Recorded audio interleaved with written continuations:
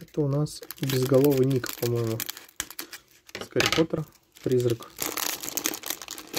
Жаль, конечно, не все призраки там попали в хронометраж. Ноги повырезали, там толстяка повырезали и так далее.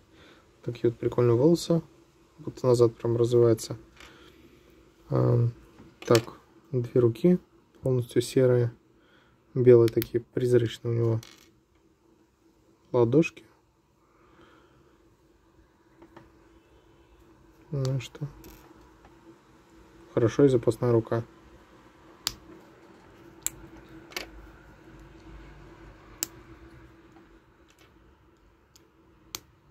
Так, ну, сзади вот такой блестящий. Тут он улыбается, такая спаньолка у него. А здесь он не улыбается. Ну, можно сделать либо такого. Но хотя он в фильме был достаточно такой позитивный, веселенький товарищ.